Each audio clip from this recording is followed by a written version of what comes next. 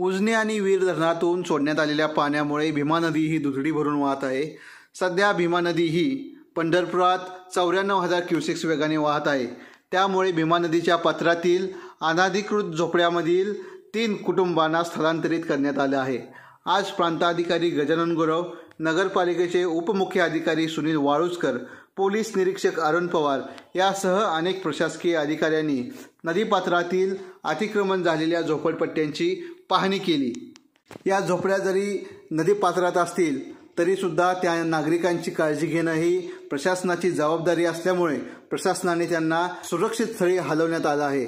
तसेच रात्रीत पाणी वाढल्यास नागरिकांना स्थलांतरित करण्यासाठी पर्यायी व्यवस्था नगरपालिकेच्या वतीने करण्यात आल्याची माहिती प्रांताधिकारी गजानन गुरव यांनी दिली आहे. सध्या वीर धरणांमधून आणि उजनी धरणामधून मोठ्या प्रमाणात विसर्ग नदीमध्ये येतो आहे आत्ता पंढरपूरमध्ये नव्वद हजार क्युसेक इतका विसर्ग सुरू आहे. परंतु तो वाढून एक लाख ते एक लाख दहा हजार होऊ शकतो. आणि मग व्यासनारायण झोपडपट्टी किंवा अंबिकानगर झोपडपट्टीतल्या अनेक नागरिकांच्या घरांना त्याचा धोका होऊ शकतो. आता सध्या तीन कुटुंब ही व्यासनारायण झोपडपट्टीतली आहेत ती विस्थापित केलेलीच आहेत आपण.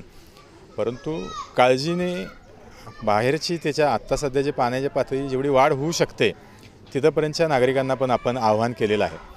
त्याकरता नगरपालिका प्रशासन सज्ज आहे. नगरपालिकेने दोन ठिकाणी आत्ता स ह्यामुळं पाण्यामुळं विस्थापित होणाऱ्या नागरिकांची राहण्याची आणि जेवणाची व्यवस्था केली आहे.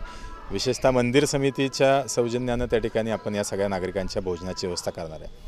मला सगळ्यात महत्त्वाची एक गोष्ट सांगायची आहे की ज्या अफवा असतील दीड लाख क्युसेक पाणी सोडले दोन लाख क्युसेक पाणी सोडले याच्यावर कुणीही अफवांवर विश्वास ठेवू नये.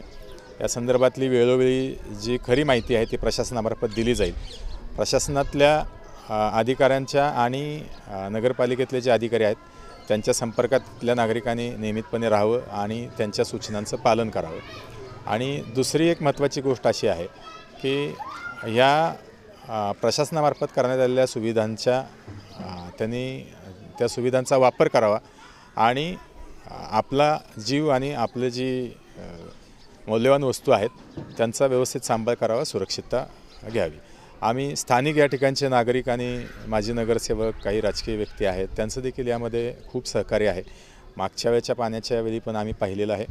आणि आत्ता पण आम्ही गेले दोन दिवस पाहतो की हे सगळे लोक आहेत ते आपल्या नागरिकांसाठी आपल्या इथल्या राहणाऱ्या रहिवाशांसाठी मदत करत आहेत आणि प्रशासनाला पण मदत करत आहेत. त्यांनी अशीच मदत करावी. नदीपात्रामध्ये अगदी आता शेतीला द्यायचा असेल वेग त्राणा समृद्धी ट्रॅक्टर्स इथून सोनालिका ट्रॅक्टर. वीस एच पी ते एकशे वीस एच पी पर्यंत सर्व मॉडेल सोनालिका टायगर पंचावन्न चे बुकिंग सुरू. आजच बुकिंग करा सोनालिका हेवी ड्युटी धमाका ऑफर ट्रॅक्टर खरेदीवर इन्शुरन्स आणि पासिंग फ्री सोनालिका ट्रॅक्टर्स अधिकृत विक्रेते समृद्धी ट्रॅक्टर्स मंगळवेढा सांगोला आणि मोहोळ हॉटेल विठ्ठल कामत पाठीमागे कॉलेज रोड पंढरपूर.